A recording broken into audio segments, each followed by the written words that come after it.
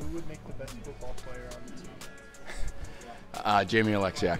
Uh, Big Rig for sure. I want to say R- Rigatoni. Maybe Carts. He's got. Uh, he can throw the ball pretty good. I know what you're gonna say. Who? Rig. That's exactly what I was gonna say. Uh, I think it'd be Rig. Big body, uh, pretty athletic, so I think it'd be him. It was probably the fastest guy. I would say wide receiver. I don't know. Maybe probably Rig.